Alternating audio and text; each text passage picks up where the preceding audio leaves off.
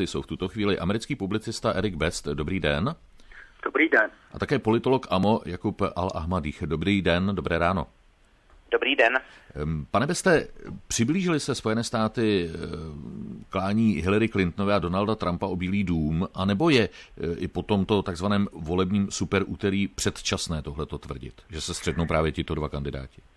Já bych souhlasil s Lenkou. Myslím si, že pro paní, paní Clintonová je to skoro jisté. Eh, něco se může stát, ale myslím si, že je to asi už jisté pro ní. A co se týče Donalda Trumpa, tak jeho šance jsou lepší, ale stále bude, bude eh, odpor od eh, toho establishmentu republikánské strany a umím si představit, že by se dohodli, že třeba jenom jeden kandidát místo tři, čtyř bude kandidovat v každém státě, aby snížili možnost získat delegátů ze strany Trumpa.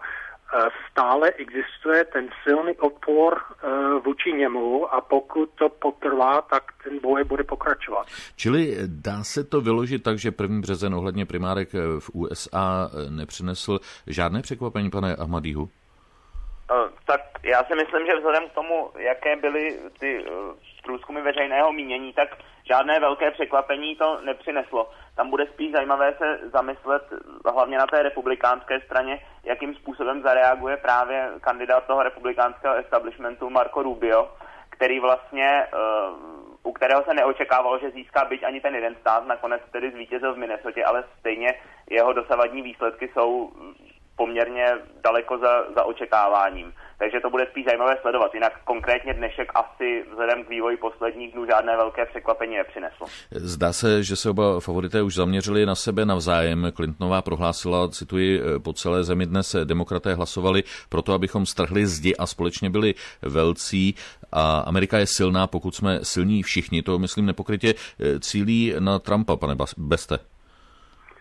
Já si myslím, že ano. A možná největší překvapení je vlastně, že Rubio měl špatné výsledky, protože republikánský establishment víceméně počítal s tím, že Rubio je ideální kandidát nebo jediný možný kandidát, protikandidát proti Trumpovi a najednou vypadl víceméně z toho a zatím ani nevypadá tak, že by chtěl odstoupit, takže i když třeba Cruz včera ho k tomu vyzval, takže eh, Zatím je to otevřené a paní Clintonová taky má problém, protože i když je lepší, co se týče delegátů a tak dále, tak stále průzkumy říkají, že by Sanders dopadl eh, lépe proti republikánských, eh, pro republikánským kandidátům. A pane Ahmadíhu, jak důležitá je pro eh, Hillary, Clintonovou, Hillary Clintonovou podpora afroamerických voličů? No, ta je ta je poměrně klíčová, zvlášť, eh, zvlášť v těch, řekněme, jižanských státech, kde jsou ty komunity afroameričanů velké. A je to hlavně i silný argument z hlediska potom konečných voleb, protože afroameričani jsou důležitou demografickou skupinou. A vzhledem k tomu, že Bernie Sanders, eh, tam je celá řada důvodů, proč není příliš schopen afroameričany oslovit, tak, eh, tak tam je potom obava, že vlastně kdyby tedy teoreticky tím nominantem demokratické strany se stal Bernie Sanders, takže vlastně by to eh, afroameričany mohlo třeba i demotivovat eh, od toho jít k těm konečným prezidentským volbám, což by samozřejmě ve výsledku velmi poškodilo demokraty nebo toho demokratického kandidáta, protože afroameričané logicky ve většině případů volí demokraty. Pane Beste, je eh, paradoxem, že Trumpa, který eh, používá dost protiimigrantskou retoriku, eh, celkem ve velkém podporují i přistěhovalci? Já si myslím, že voliči jsou schopni se podívat a pochopit, že je to kandidát, který je ochoten říct si cokoliv, aby vyhrál, ale že pak stejně bude muset změnit postoj. Už byly náznaky toho, že jednou to připustil v soukromí, že je ochoten eh, jít na kompromis, co se týče migrace, takže eh, i sám Trump, já si myslím, že jsem to u vás už jednou říkal, Trump sám říká, že ví, že prezident nesmí, nesmí mluvit, jak mluví on veřejně a že bude muset změnit vlastně chování a, a postoje, takže myslím si, že ten problém je taky na demokratické straně, protože pro, pro mnoho voličů je paní Clintonová nepřijatelná.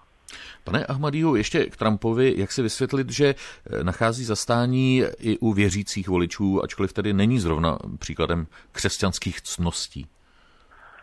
Ehm, to je určitě zajímavá otázka. Já si myslím, že Trump uh, obecně eh, jakoby velmi dobře, zvlášť u republikánů, vychytal ten moment, že spousta těch tradičních republikánů je na ten svůj vlastní establishment hodně naštvaná.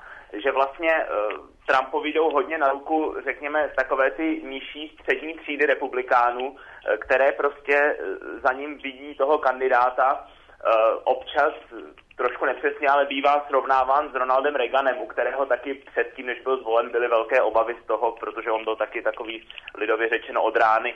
Eh, takže si myslím, že eh, tam to, že není až tak konzervativním křesťanem, prostě eh, nehraje až takovou roli, že prostě pro ty, pro ty řekněme, obyčejné republikánské voliče je prostě důležitější to, že on se vymezuje proti těm politikům, kteří jim dlouhodobě vadí a u kterých oni prostě mají pocit, že je nedostatečně zastupují, byť třeba s nimi sdílejí některé konkrétní hodnoty více, než je sdílí konkrétně s Trumpem. Senátor Ted Cruz mu poblahopřál k vítězství, myšleno tedy Trumpovi. Zároveň ale vyzval republikány, kteří zatím nezískali žádnou nominaci, aby se své kandidatury vzdali a proti Trumpovi se spojili. Pane Beste, je toto reálné? Um, jak jsem říkal před chvíli, myslím si, že pravděpodobnější je, že by se domluvili, že nebudou kandidovat ve všech státech, protože tím by snížili ten odpor, nebo by snížili počet kandidátů a a Trump by možná získal méně delegátů. Ten samotný problém, co se týče Cruze, je, že on taky není přijatelný pro republikánskou stranu. Takže když to e, přijde od něj, tak ti klasičtí kandidáti, Cruz a Kasič a ostatní, tak řeknou, ale od vás to my nebereme. Pane Ahmadího, jak bude pokračovat dál seriál amerických primárek? Uh, tak myslíte teďka, jak, jak jsou dále ano. na pořadu, nebo jak se No, bude co se bude dít jak... teď po tom superúterý? No, tak eh, teďka budou následovat v jednotlivých státech normálně další primárky eh, a dá se očekávat, že pravděpodobně teda na té republikánské straně asi někteří ty kandidáti, kteří nebyli příliš úspěšní, budou odstupovat. I když to je taky otázka. Já si myslím, že v tomhle kontextu je důležité upozornit na jednu věc, že vlastně vzhledem k tomu, že eh, primárky jsou vlastně stát od státu jiné, že ta pravidla nejsou centralizovaná, tak vlastně do posud volili státy, Eh, kde se ti delegáti rozdělují poměrně.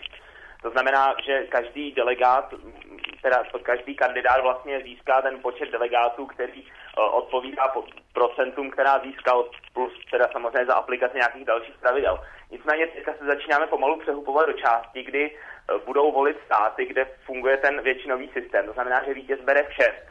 A na to například, když byla řeč o Marku Rubiovi, na to například podle některých analýz právě spolehá on, protože jeho domovský stát Florida vysílá 99 delegátů, což je velké číslo. A je to vlastně systémem vítěz bere vše. To znamená, že vlastně v té finální fázi ti kandidáti, kteří doposud byli poměrně neúspěšní, v případě, že se jim podaří nějak změnit dynamiku svojí kampaně a z nějakého důvodu dokážou ty voliče, které doposud nebyly schopni zaujmout, zaujímat, tak vlastně můžou tu ztrátu, která se teďka v tomhle systému může zdát velká, tak ji můžou začít velmi rychle dohánět. Takže eh, já si třeba osobně myslím, že Marco Rubio a Ted Cruz taky určitě neodstoupí. Co budou dělat ostatní kandidáti jako John Kasich a Ben Carson, to je, to je otázka. Myslím si, že vzhledem k jejich výsledkům by mělo určitou logiku, kdyby opravdu odstoupili a snažili se teda podpořit nějakého z těch zbývajících kandidátů. Soudí politolog Amo Jakub El Ahmadích a e, u telefonu byl také americký publicista Erik Best. Pánové, díky. Naschledanou. Naschledanou. Naschledanou.